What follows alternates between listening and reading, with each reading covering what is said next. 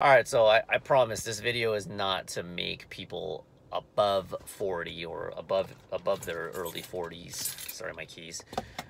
I don't mean to make make people feel um, bad for trying to pull out pull for me to pull out the age card and talk about my aches and pains as I get older. But man, you know,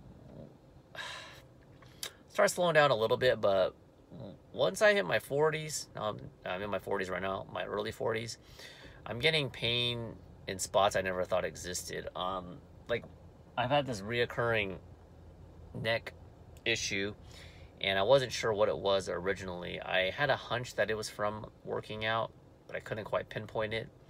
Then I thought it was the pillow. And drum roll, drum, drum a roll, please. What is the culprit? It's a little bit of both. I found out one of the pillows was a little bit too soft. I switched it, made a big difference.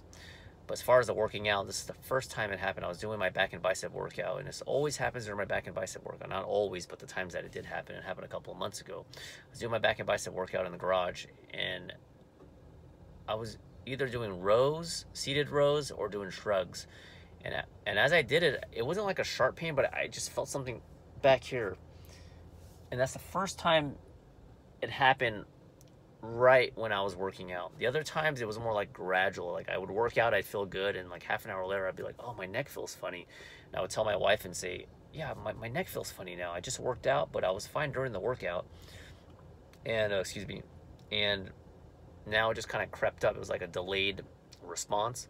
But yesterday was the first time that I actually felt it during the workout. So uh, that leads me to believe that it's from the workout. So what exactly is it? I'm not 100% sure. I think I might be like when I'm doing seated rows, I might be jerking my cervical spine a little bit, maybe too much. Maybe the weight's too heavy slightly. I'm not a big heavy lifter, but I think my forms might have been form has been a little bit off possibly.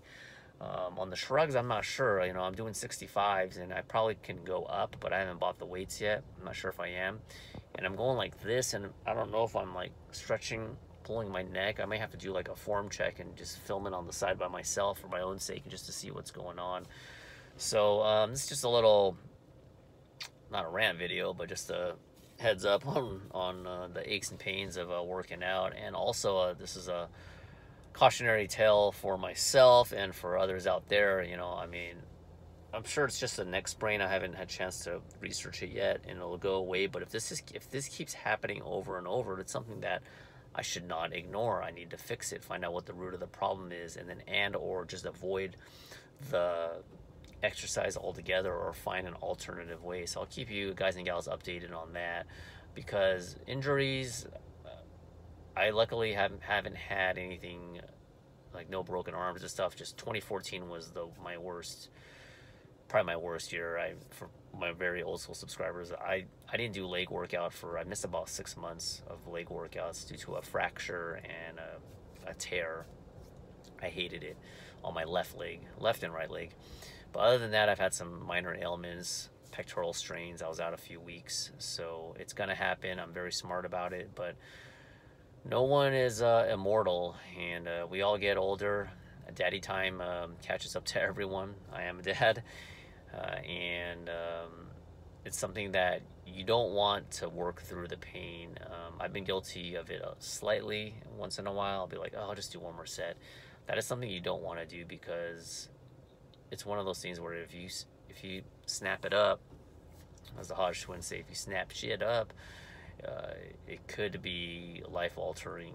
Uh, not to scare you, not to not to fearmonger, but you know, it is what it is. So it's good to be healthy. It's good to exercise, um, be very active. But like most things, if you go overboard, you don't listen to your body, things can happen. So anyway, let me know from you guys and from you guys and gals, the ones that are a little bit older, or a little bit older than me.